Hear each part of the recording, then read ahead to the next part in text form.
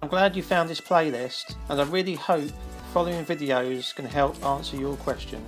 If you found this video directly from YouTube search, either click the card above or the link in the description below. Feel free to pause this video, otherwise continue watching and the videos will play automatically in this playlist.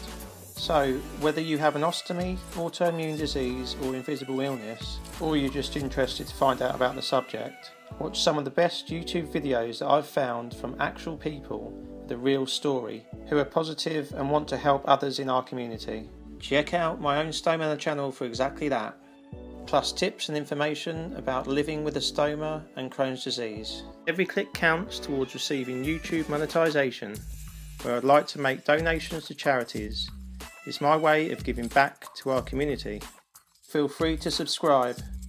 So click the link in the description below or the card above to watch this playlist.